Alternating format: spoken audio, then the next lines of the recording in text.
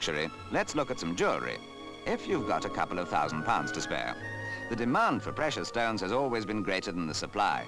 For this reason, second-hand jewellery, some often hundreds of years old, is often bought to be broken down and then remade in contemporary styles.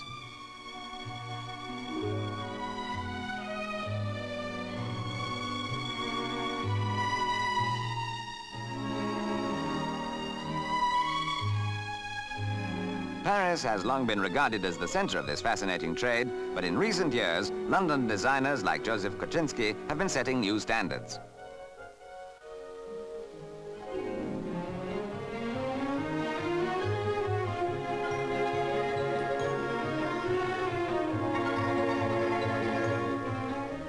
Highly skilled craftsmen place the precious stones, diamonds, rubies, sapphires and emeralds into position.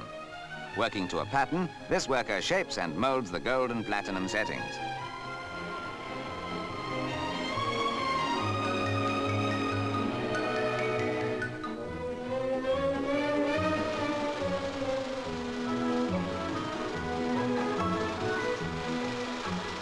Polishing is all very well, but a problem which has faced all jewelers down the ages has been cleansing.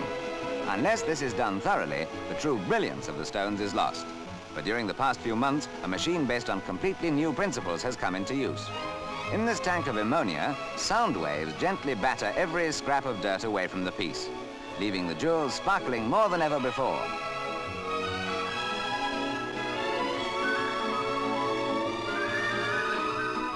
And here's lovely model Paula Hayworth, loaded with 8,000 pounds. Those earrings alone cost nearly 500 pounds. If you fancy that brooch, well, it will cost you 675 pounds. And the bracelet to go with it, practically a thousand pounds. But here's just the thing for a really special present. The smallest watch in the world. And the biggest price, just 3,650